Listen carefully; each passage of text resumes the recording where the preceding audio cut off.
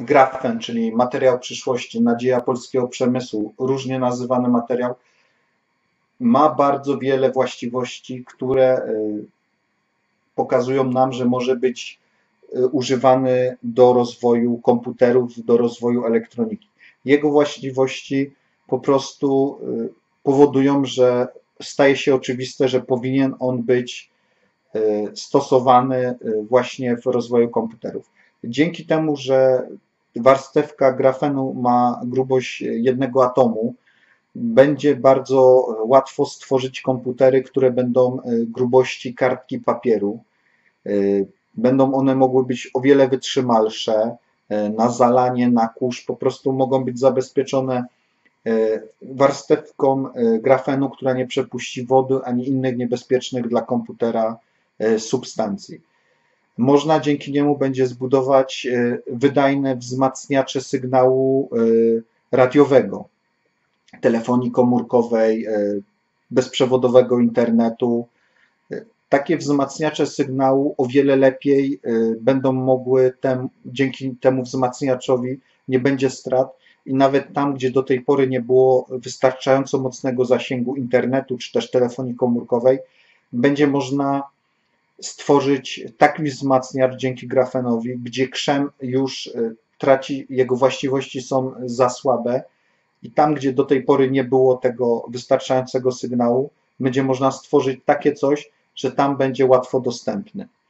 Dzięki temu, że świetnie przewodzi prąd, e, będzie można stworzyć e, szybsze procesory.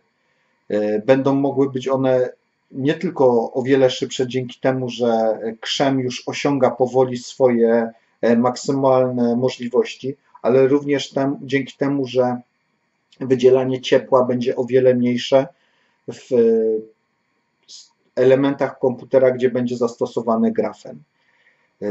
Przypuszcza się, że będą procesory mogły być nawet 500-krotnie szybsze od tych obecnie produkowanych.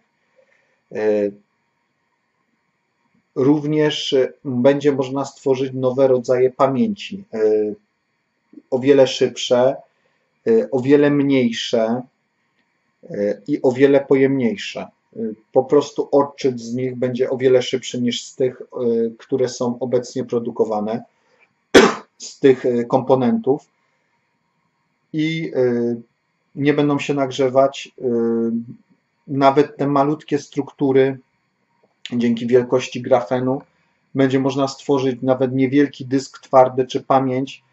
Przy niewielkich rozmiarach będzie bardzo pojemna i bardzo szybka. Jak widać, zastosowanie grafenu, jego właściwości wielokrotnie przebijają to, co y, tą technologię, co jest obecnie stosowana, oparta na krzemie i innych materiałach.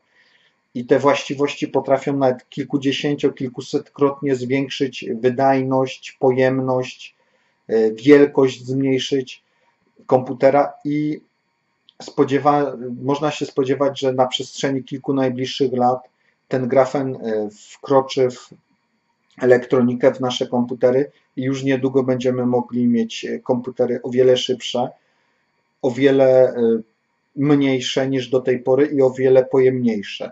Również to, że e, ten zasięg telefonii komórkowej, internetu będzie o wiele lepszy dzięki zastosowaniu grafenu.